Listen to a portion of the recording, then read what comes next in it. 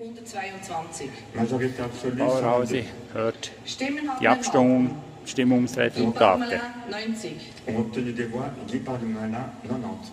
Thomas Eschi 61. Thomas Eschy 61. Norman Gobi 50. Norman Gobi 50.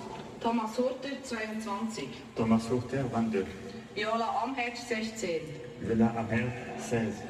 Verschiedene 4. Divers 4. Da keine Person das absolute Mehr erreicht hat, findet ein zweiter Wahlgang statt.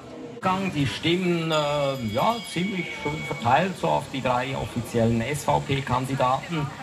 Guy Parmelin liegt vorne mit 90 Stimmen, an zweiter Stelle Thomas Aschi mit 61 und an dritter Stelle Norman Gobbi mit immer noch recht guten äh, 50 Stimmen. Entrée 244. So, hören wir mal. Blanc 5. Zweiter Wahlgang. Nul aucun. Gültig 239. Valable 239. Absolutes Mehr 120. Majorité absolue 120. Blanc 6. Ungültig 0. Nul aucun. Gültig 237. Valable 237. Absolutes Mehr 119. Majorité absolue 119.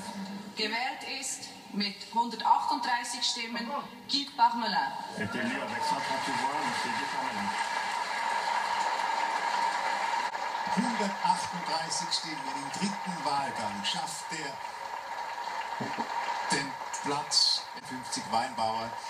Uns nimmt da noch Wunder, wie er sonst noch Stimmen gemacht hätte, wenn sonst noch Stimmen entfallen sind. Er hat sich durchgesetzt. Der Mann, der Weinbauer, 56 Jahre, aus Bursche in Kanton. de l'Assemblée fédérale, mesdames et messieurs les membres de l'Assemblée fédérale, chers et chers collègues.